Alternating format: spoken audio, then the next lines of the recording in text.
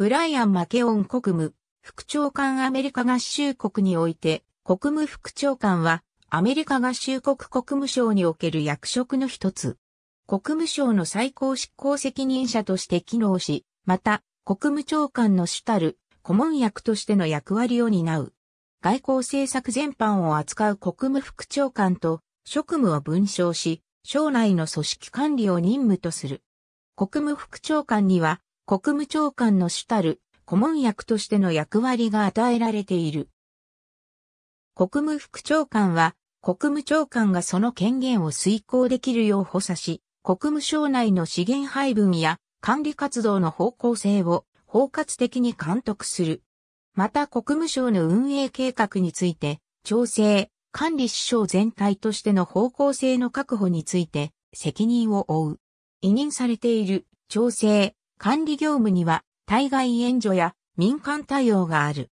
その他、国務副長官は国家経済会議に拡大関係者として参加し、省庁間の経済政策課題に関して国務長官に助言を行う。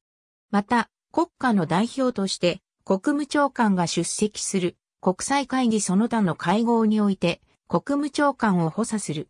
国際会議に際しては国務省としての意見を連邦議会に事前提示し他国の代表と事前調整を行う。国務副長官はまた上級職員の人事に関する最終的な推薦者を国務長官に提示する。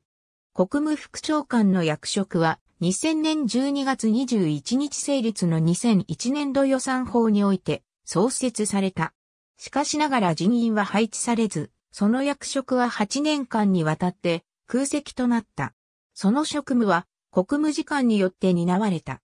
2009年にバラク・オバマ政権が発足すると、国務長官ヒラリー・クリントンは、米国の優先事項を効果的かつ安全に実施するために必要な資源を確保できるようにすると、この役職の必要性を謳い、政権は同職にジェイコブ・ルーを任命した。ありがとうございます。